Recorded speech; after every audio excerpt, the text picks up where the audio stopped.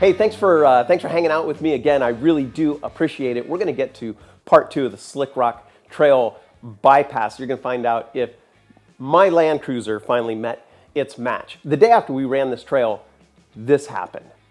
It happens. I ran this trail for a couple of reasons.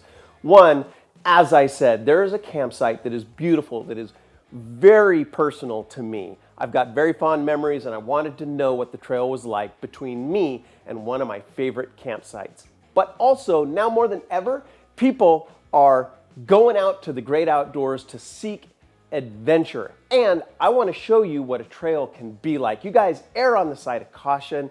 It doesn't matter what type of vehicle you drive if you're overlanding, but it does matter where you drive it and you don't want to exceed the capabilities of your vehicle. So please be conservative, find out as much as you can about the trail and be safe. We all want to come back and we don't want to be spending a lot of money on broken parts. Now we're gonna do a follow-up video where we look underneath my Land Cruiser and we look at the shape it's in after running the trail. All right, you guys, let's have some fun. Let's get out there on the trail. And till next time, outfit, explore, let's go. All right, so good morning. Good morning. Um, so after the excitement yesterday, we got to this uh, we got to this great location, and we didn't roll the camera uh, after that. It was it was time for me to hang out with my friends. Mike's new nickname is uh, Indy because my 80 kicked up a. Dang, the size of the rock was like the largest size rock I've seen move on the trail. It was it was pretty large, and then, you know, word of caution, Mike had to dodge it. Things do happen. But then we got here to base camp and we just spent the night just talking about life. And, and, and it wasn't about camera time. So, cameras off, we're just hanging out. And you guys need that. If you don't know you need it, you need that time, especially in days like today. And out here, you guys can see it's one of the, the easiest environments to socially distance. You know, you guys can stay apart. You don't need to be near anybody. And uh, you just hang out and you talk and you get that social outlet, little peace of mind away from the crazy. So that's what we did last night. And now today, let's talk about today. Today, uh, we're going to continue down Slick Rock Trail. And we know the trail now the trail before, it's a new bypass, and we didn't know the trail as well. But now Nick has been on the trail. We're going to talk to him in a few minutes uh, once we get to some obstacles. And uh, we're, we're going to see what the trail is like. Now, trails like this change every single year, so we expect it to be a little bit easier than it was yesterday. But it changes every year, and the, and the one big obstacle that we have to do today is called the waterfall, aka the staircase at the end of the trail, it changes, and that's our biggest obstacle today. And it's a, it's a roll of the dice whether our vehicles get up the, um, uh, the, the waterfall. So we'll be sharing that with you today. And any learnings that we have, we're going to pass that along so you guys can keep it in mind. All right? We're going to wrap up here. We're going to head on down the trail.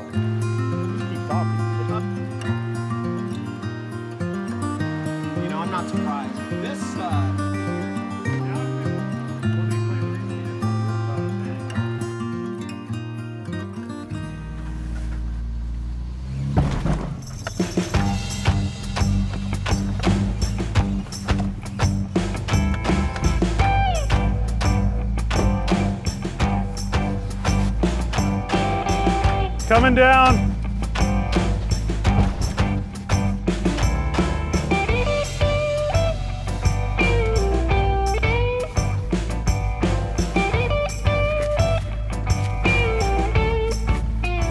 This thing just truly impresses me, man.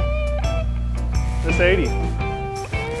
You know, old man Emu lift, 35s, bumpers and sliders, and it's good. Talk to me, Goose. What are we doing? Uh, this is the off camber section of Slick Rock. It used to be the very first obstacle on the trail. Uh, now it's not. Right. and now it actually doesn't feel like an obstacle much at all. Uh, but yeah, what you're gonna do here is just try and keep your tire up on this wall a little bit, try and keep you level. But uh, other than that, you know, it's just being calm on the throttle and keeping her straight through. right on. Let's go.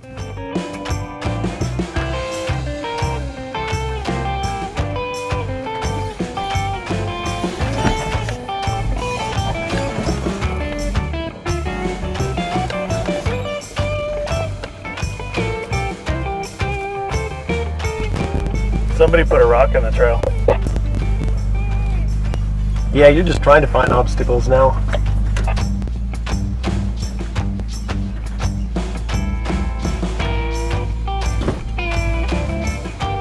Just make sure you keep your drive shaft and your dip in that gap between the two rocks.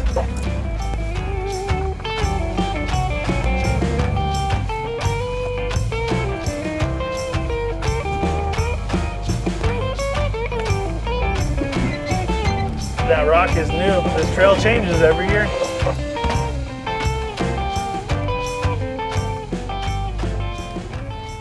As long good. as it's over this side a little bit. So as you're long as? I just keep my tire up against that wall, get in play. I can go straight through here. It's not even This an is- obstacle anymore. It's All right. weird. It's gone. it's never been like this. Somebody might disagree. This obstacle is gone, Mike. This Yeah. used to be like one, one of the hardest parts of the trail. Yep. And It's, these boulders have moved. Yep, I see that. No, because that's when. So though you see how my fenders are all busted up. Mm-hmm. You know, I got them basically duct ta- tape and baling wire. Yeah. It's because I did a solo trip here through here myself, and I spent 30 minutes trying to find a line, and then finally I was like, "Fuck it, here I go." I have been here with groups And- of nine and had like three of the trucks were here stacking rocks because Yep. there's just no way. They're, they're, there's no tires on the ground. They're, they're got their diff hung on this, the near, neither rear tires hung on the ground. They got Yep. a slider up on a rock. It's like they, they're not moving. I am going to move that log though because I don't want that to puncture anything. Nick, I want to talk a little bit um, with you. You've been running this trail. You, this is like your old stomping grounds. You've been doing this for a long time. Um, tell us about the reality of your kit, what you learned over the years, and what you keep in your truck, just to give people an idea of the different perspective between daily driving and doing this kind of stuff. So yeah, I started running this trail with big groups of Tacomas um, back in early 2014, uh, and I, I grew to love the trail. The thing with those big groups of Tacomas, we all have the same vehicle, but I got to see what broke on this trail. Yep. And the answer was drive shaft, tie rod, CV axle. Like almost every trip with a group of eight or more, we had at least one of those break, if not more or multiple of all.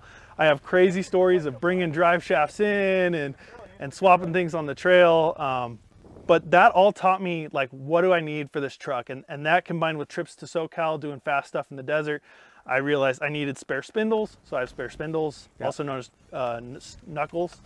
I have tie rods. I have a whole steering rack in my truck, spare steering rack. I got spare wheel bearings already assembled. Um, I have a spare alternator, a spare power steering pump. I have a spare rear drive shaft, the whole thing. Um, and then I have miscellaneous nuts and bolts of all sizes because Yep. things go missing on the trail. I, I spent an hour looking for a bolt on a Rubicon for a leaf pack because we needed it. Yep. So you know, it's just having extra spares of everything. Because on the trail here, there's no there's no one else coming. Yep. No AAA. Yep.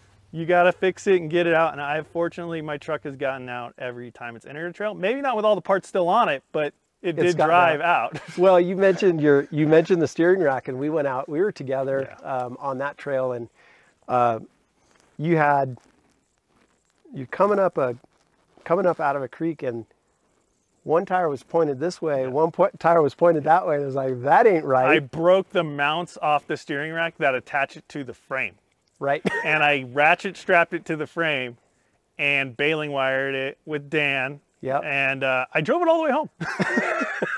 Gotcha.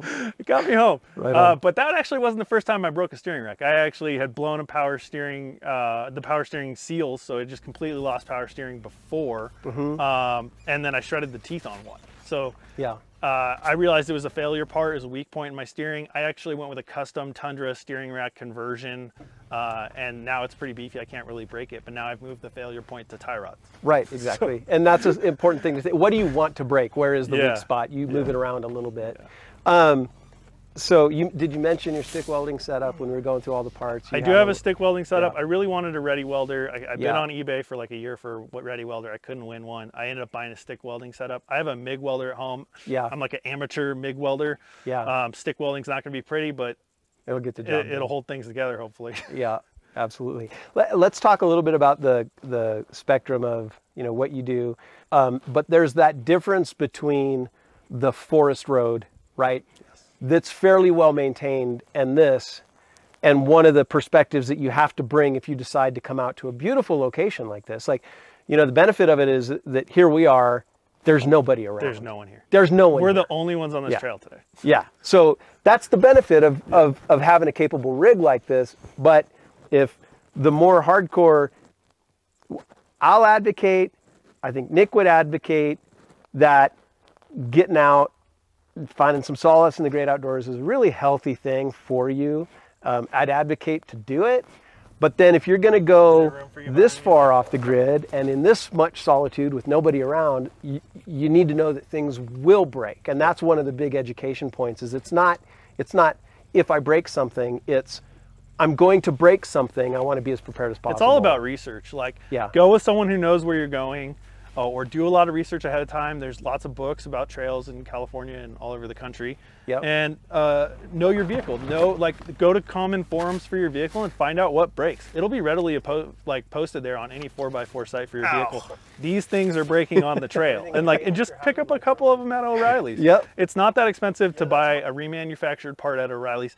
Maybe not something you'd want to run on your truck permanently, but Yep. on the trail, it's a it's like a lifesaver. Right. No, absolutely. Better that than Better just than- being out yeah. here stuck. Yeah. Right. Uh, we both have uh, off-grid comms, satellite comms. When we're out this far, we can we can text two-way comms.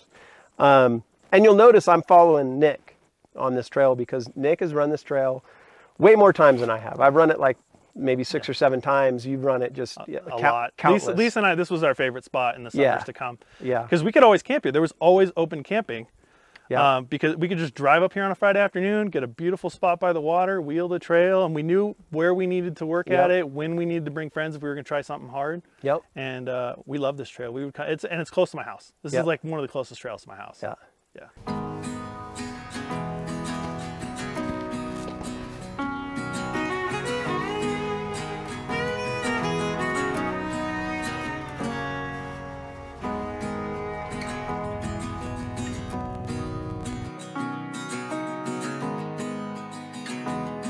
So on some of those group Tacoma trips, we come from the other side, and when you're coming up, there's a huge boulder and a tight turn over here. And for whatever reason, the wheelbase of the Tacoma, you slap your drive shaft on it. I've done it. Uh, my wife has done it, and I've had a friend completely just twist one, broken completely apart, and we tugged him up to here, and he spent the night here. This is Drive Shaft Camp Spot. Yeah, and then with the next day we took off my friend Mike's drive shaft after he was done with the trail, drove it, my wife drove it in and gave it to Blake. We put it on his truck and he drove out.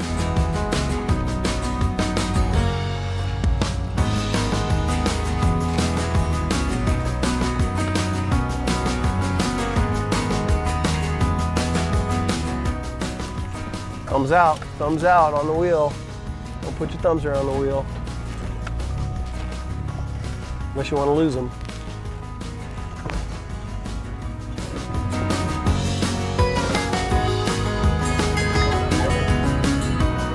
All right, so uh, something you learn on the trail. You guys see this button right here?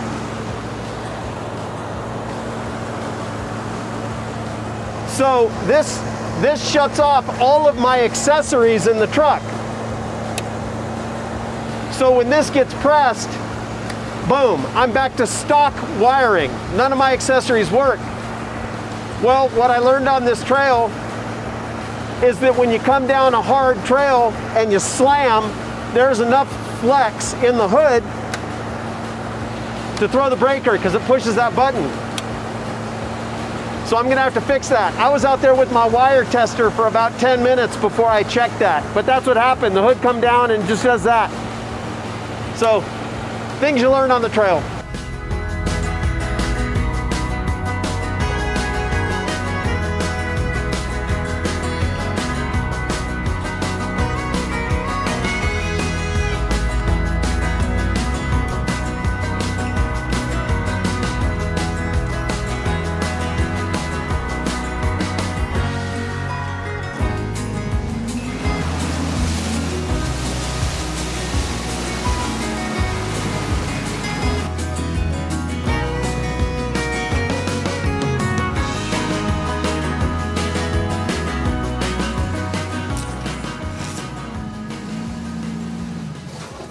This is the really the final uh, difficult obstacle coming out of Slick Rock Trail in this direction. And uh, this is the one I was talking about uh, this morning. Um,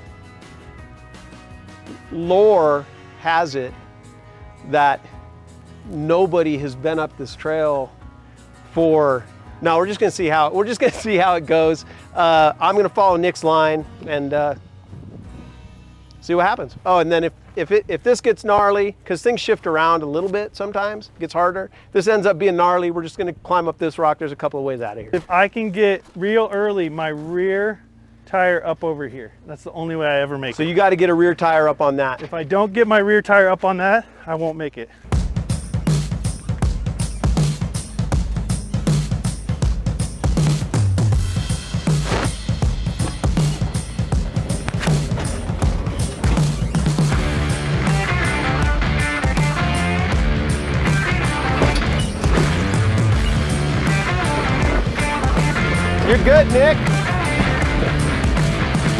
Good job.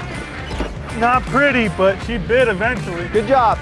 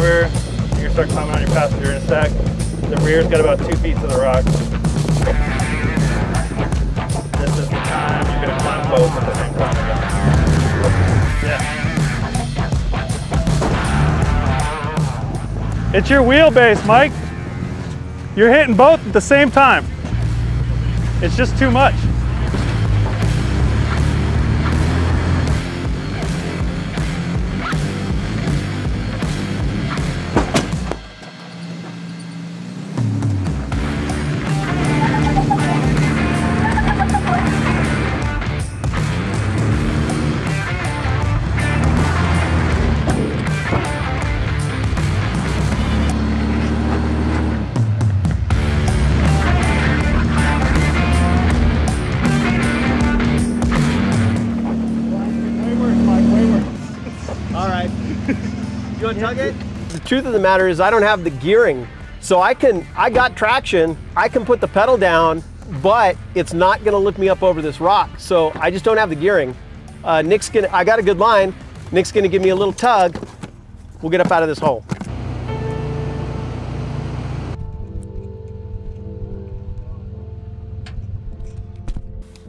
All right, I'm going.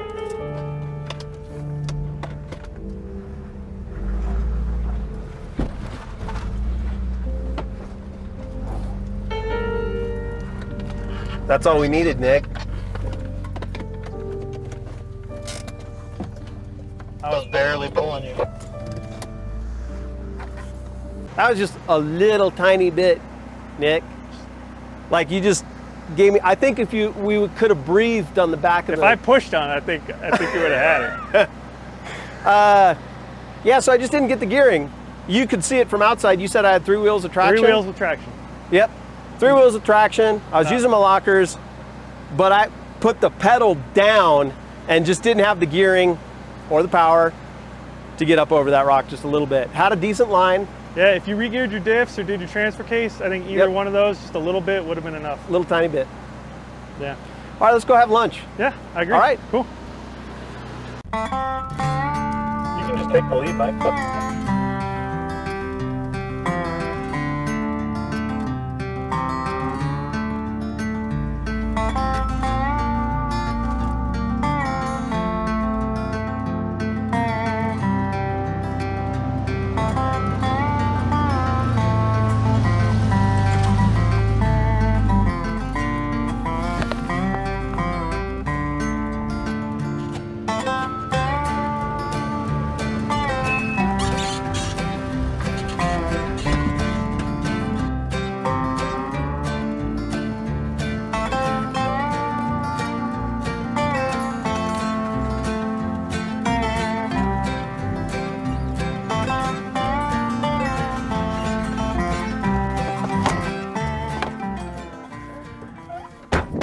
So uh, that was fun. It was. That was a good time. Yeah, after that initial new section, it was pretty much as expected. Yeah, yeah, yeah. Any uh, anytime you, you come out of the trail, uh, driving on your own is a good day on the trail. Yep. And I, Hey, oh wait, there's more. I have some information for you guys, but first, uh, let me say thank you to Mike and Nick. I've known those guys for, for years. Nick, MadeMan925 on Instagram. Go and check him out. He has a passion for teaching as well, and he wants you to be safe. He's always glad to answer your questions about your rig or the trail. And Mike, awesome camera work. Thank you. I couldn't have done this. We couldn't have shared this to the community without your camera work. He is Social Pants on YouTube, so go and check him out. Now, that information for you. Uh, Overland Bound, we are a community of 25,000 adventure travelers. We're growing really, really quickly because you probably agree adventure is necessary. We have a free app for you. It's called Overland Bound One, your one overland resource for everything community, locations, and trails and events in your area. So download that app and it's free. If you want the trails, please consider becoming an Overland Bound member. We'd love to have you as a part of the crew. And if that weren't enough, Michael, wait, there's more. you guys see things that we use on the trail, like the Gazelle tent, this trauma kit, and the essentials. Since there are 25,000 Overland Bound members, we develop good friendships with folks who provide these products. And they say, hey, we'd like to have it in your store. And we say, great. Cut a super good deal for our members. So if you are a member, you get great deals on this stuff. We just pass that along to you. So I hope that's useful. You guys, stay safe. I'm thinking about you. Thanks for hanging out with me. And until next time, hey, outfit, explore, and I hope to run into you guys on the trail. See you later.